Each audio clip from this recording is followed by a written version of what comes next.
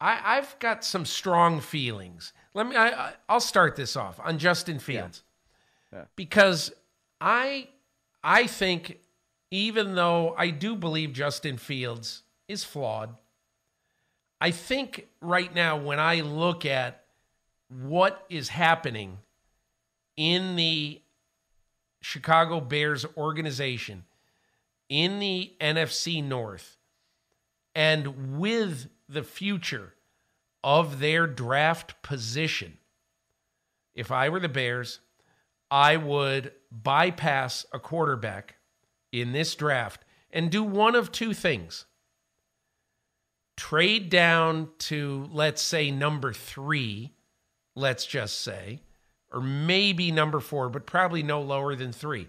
Trade down to number three and get an extra one from somebody who's willing to trade their 2024 one, um, whoever is going to have the third pick.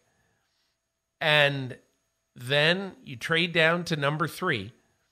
Three jumps up to one to get the quarterback. Trade down to number three and take Marvin Harrison Jr. Or trade down to number 12 and you get three ones. You get the 12th pick in the draft, you get next year's one, and you either get two twos or uh or a you know the next year's one because you will be able to trade two drafts out um you know once you get to the postseason. So they could get a team's next two first round draft picks as well as a pick 10, 12, 13, whatever. I would rather do that for a very simple reason. I think the Bears, so often what we do is we look at quarterbacks as the nirvana for teams that are rebuilding. The only problem I have with doing that right now is that there aren't many teams that have been in as unique a position as the Chicago Bears. They pick number one in this year's dra- in the 24 draft, and they already have a guy at quarterback who their fans are chanting for. Their fans want to keep Justin Fields. I think most do, or at least a majority of them do. And they want to use this draft and next year's draft, and maybe even the 26th draft, to build the team around Justin Fields. So that's what I would do. What say you, Myles Simmons? I would not do that. And the reason is you have a number one overall pick, and there are, you know, quarterbacks out there that you can say it may or may not be generational, right? So I think it's incumbent upon Ryan Poles right now and the rest of that front office and scouting department and whoever else to do as much research as you can possibly do between now and whatever day the draft is going to be held to say, all right, is Justin Fields our best option going forward? Or, and, not just for next year, but for the, you know, however lo- long term, right? Or do we reset the clock and go with Caleb Williams or Drake Maye or whoever else? And uh, why is because it's almost a business decision more than it is a quarterback and belief in Justin Fields and all of this decision, right? I mean, this is a regime that did not pick Justin Fields, and Fields has played better, but he's not been great. And at this point, when you're going into a quarterback's fourth year, not only do you have to make the decision on the fifth year option, but basically you're going to be eventually saying, look, we're either going to pay him or we're not going to pay him.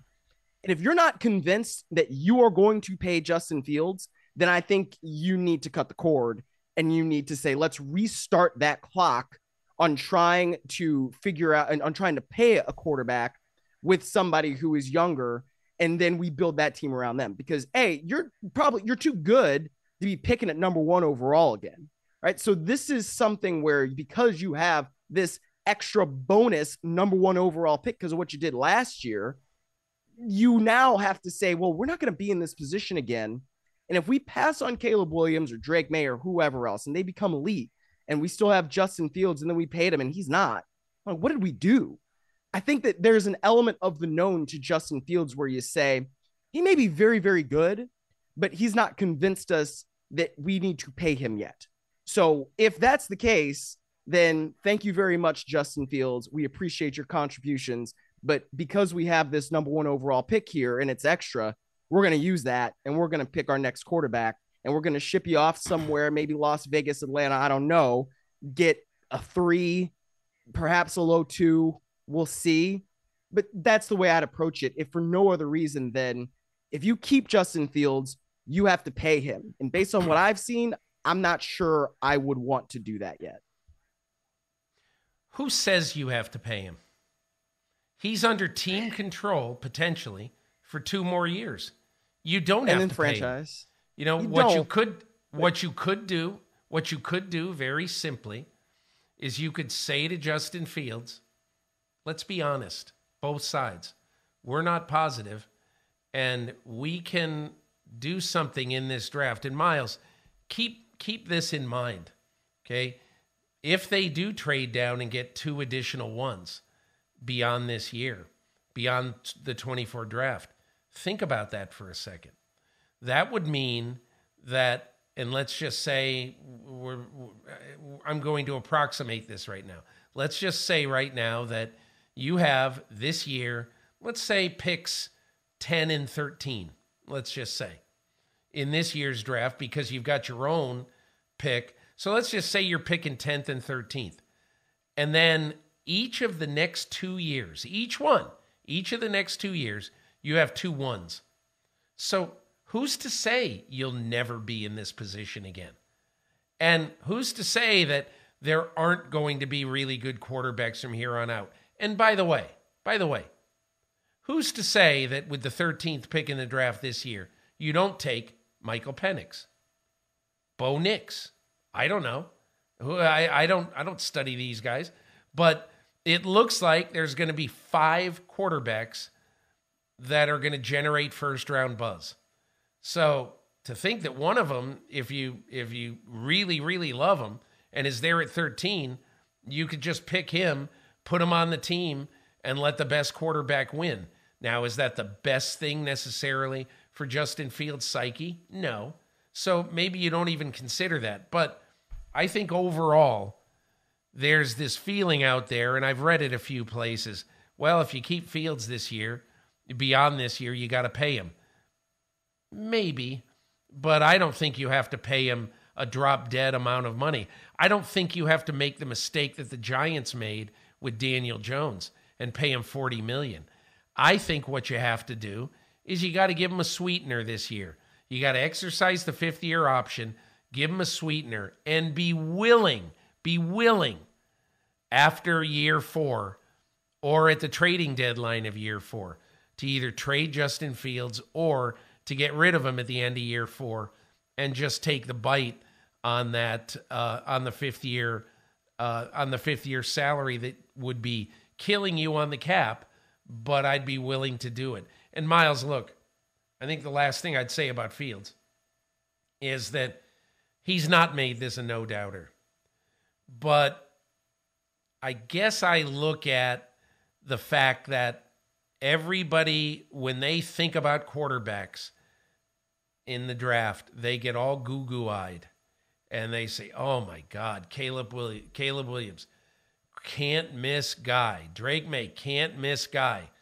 Well, Myles, the fact is that about 40% of the picks at the very top of the draft at the quarterback position miss. So that's why I would just say, and again, I don't mean to be down on Caleb Williams. All I know is that he had a crummy senior last year at USC. And he's going to come into the NFL with some legitimate question marks. And what happens to all young, high pick quarterbacks early in their NFL career? They get chased all over the field. Look at poor Bryce Young this year. How, how can people tell whether he's any good or not? You know, he's got to play a track meet every game because he's got to just run every game. So look what happened to Caleb Williams when he played Notre Dame. He got chased all over the place and he was awful. So I think Caleb Williams obviously is a good quarterback, good prospect. But I'm just saying, be careful what you wish for when you look at the top pick in the draft as the answer to all your problems. and, and I, I think you you have a point there, and it, that's why I'm saying like it's incumbent on Ryan Poles and the rest of his staff to think about this. Okay, you've got to figure this out. Is this the 2020 draft class at quarterback, or is this 2021? Right? Because if it's 2020, then you need to pick that quarterback. I, am sorry, I that because look, that Joe Burrow, Justin Herbert, Tua Tagovailoa, all very very good players that were picked at the top of that draft. If it's 2021 and it's Trevor Lawrence, where we still got questions, it's Zach Wilson who's awful, and it's Trey Lance who got traded, I, then that's not the quarterback that you need to replace him with, right? And that's also Justin Fields draft class too. So that's where I'm saying, like, look, you have a big decision to make. And if you don't anticipate being here at the top of the draft, whether or not you get extra picks and you can move around and da da da, and we saw that Houston did that with the two and then going up to get the three and you know being aggressive and getting a guy like Will Anderson who's also been really good this year. I I, I just think that from the team construction standpoint, if you can get that guy in, that can be a transformational guy. Like Joe Burrow transformed the Cincinnati Bengals. If you're convinced yep. that that's the guy that you can get at number one overall, you pick him because that guy does not come out in every single draft class. And then you have to surround uh, him with talent. Right? You can't you can't have a crappy left. That I would to- that I would totally agree pick. with. Yeah.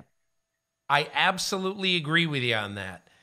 Um, but it ha- that's that's the only way I would waive what I'm saying.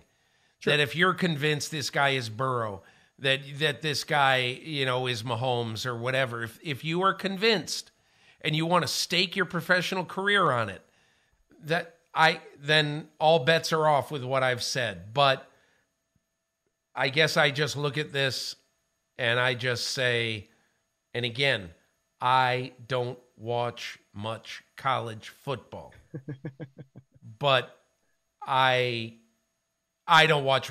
It'd be dumb for me to say so. I wouldn't take Caleb Williams, but right. in my head, I don't see Caleb Williams as Joe Burrow. But anyway, sure. Myles, listen. But, well, thanks Peter, so much here, for one, everything. Let me, get, let me get one more thing yeah, in there. Go one more. Let me one more thing in there. I don't think it's just.